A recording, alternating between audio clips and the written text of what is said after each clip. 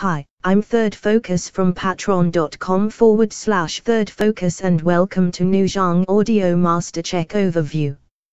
So most of you will be heard of people talking about mixing and mastering and dynamics and loudness of what a track can have and can't have.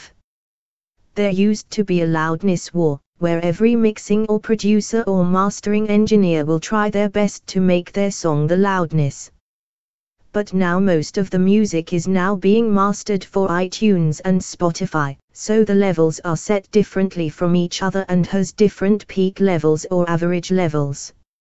Master check is to try help people get them levels. More importantly people out there produce audio for broadcast TV and that has very strict rules, so using master check like this is the law but it's useful for listening to how a compressor affects the track. So looking at the screen here I have got one instance of it on the master channel.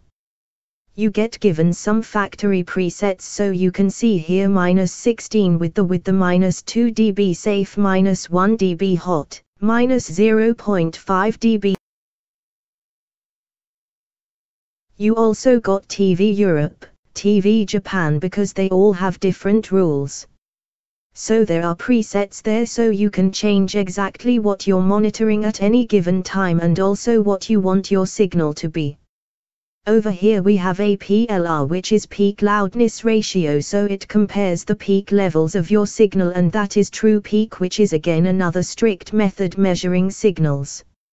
It compares the peak levels to the average loudness and comes out with the ratio. This is called the dynamic range so the loudness part of the track compared to the general average of the track. If that's a very small number it means your track doesn't have much dynamic range. As a producer or mixing mastering engineer your goal is to get a track crisp and clean and loud but not over compressed or squashed. So that is something that people aim for numbers and monitoring. The PLR, I think most engineers will aim for their track anywhere between 8 and 15 in dynamic range. Moving on the next box you got LKFS, now you have in the settings you can change the LKFS to LUFS which is another form of measurement, these are the standard measurements. So much like we have dB and we know dB to be dBFS, so that's decibels relative to full scales and we know in digital world 0 dB is your limit. So the other form of measurement is LKFS, or LUFS, they are like the same. Also we have the offset to match here. Now what this does when you start playing a track if your goal is minus 16 which, you can see here the little minus 16 LKFS that's the goal of the signal if you hit the offset to match it will change the volume of what you're listening to appear though as minus 16. Then you got external reference and compare the loudness to one track to another but more importantly to compare to exactly what a compressor is doing to your track. Then you got your true peak values here. You got LKFS meter here your PLR meter here, then your peak meter here. You got a reset button, anchor button you can change mono to stereo or stereo to mono.